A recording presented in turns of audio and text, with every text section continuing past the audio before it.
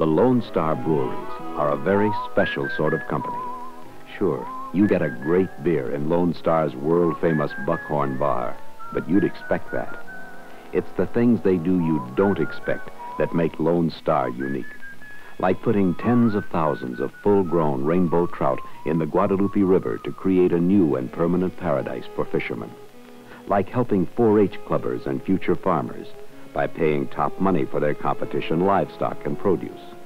Like maintaining an experimental farm and working ranch where many species of wild game are bred to stock and replenish nature's hunting and fishing grounds. Now, is it any wonder that Lone Star brings you the best things first? The first certified premium quality beer. The first real draft beer in packages. No, sir, it's no wonder.